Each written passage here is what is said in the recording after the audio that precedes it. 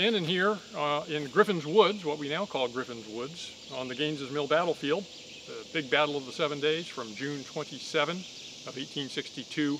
We're on top of the ridge in the, the woods, which were historically like this, defended by the Union 5th Corps. Uh, George Meade's brigade was up here. Uh, Taylor's New Jersey brigade was up here. Griffin's brigade was up here at different times. And uh, these thick woods really assisted the Union defenders uh, in protecting the integrity of the Union line. Now, right now, I'm standing next to what in all likelihood is an excavated grave.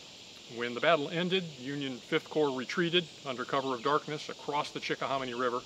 They had no opportunity to carry away their dead, and so uh, the Confederates, victors of the field, possessors of the field, uh, did the burying, not very carefully by most accounts, uh, and in 1866, four years after the battle, uh, work crews from the United States government came and dug up all of the Union dead that they could find on the battlefield, whether they could be identified or not, and moved them to the new Cold Harbor National Cemetery.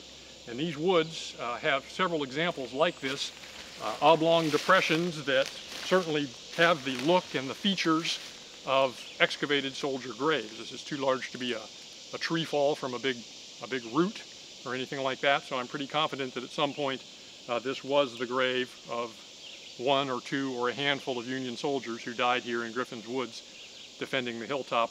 the grave would have been excavated and the remains removed uh, 100, more than 150 years ago.